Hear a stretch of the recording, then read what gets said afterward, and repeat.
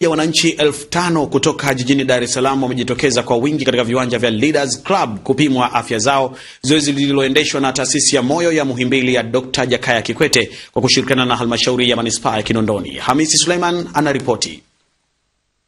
Katika zoezi hilo wananchi wengi wamebainika kuwa na matatizo ya ugonjwa wa shinikizo la damu, matatizo ya moyo pamoja na uzito mkubwa wa kupita kiasi, hali inayotishia uhai wa maisha yao ikiwa hatua za haraka za kupata matibabu hazijachukuliwa.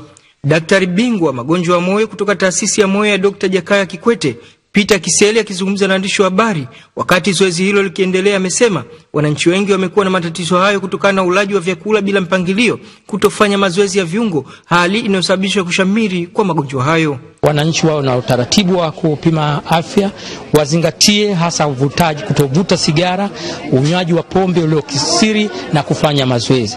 Tukifuata haya yote, tutapunguza kwa zaidi ya asilimia kumi na tano ya magonjwa ya moyo. Lakini pia nimeagiza baadhi ya madaktari wengine, natafuta sasa hivi mpaka madaktari kutoka Temeke, kutoka Ilala waje wanisaidie, kwa sababu kwa sababu hakuna mgonjwa anayekuja hapa tukamkataa kwamba wewe umetoka wilaya fulani. Baadhi ya wananchi waliojitokeza katika zoezi hilo wamesema gharama kubwa za upimaji na upataji wa matibabu ya ugonjwa wa moyo umesababisha wananchi wengi kushindwa kumudu gharama, hivyo hatua za zoezi hilo kutolewa bure limesababisha wananchi wengi kujitokeza na kutoa wito kwa serikali kufanya zoezi hilo mara kwa mara ili wananchi wasiokuwa na kipato waweze kupata vipimo.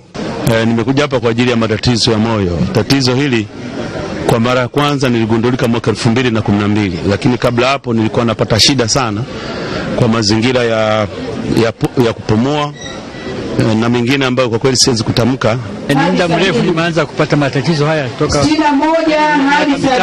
zaidi ya mitano iliyopita.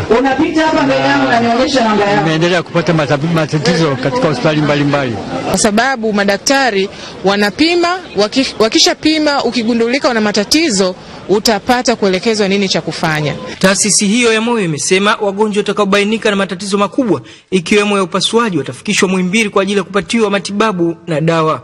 Hamisi Suleiman, Channel 10, Dar es Salaam.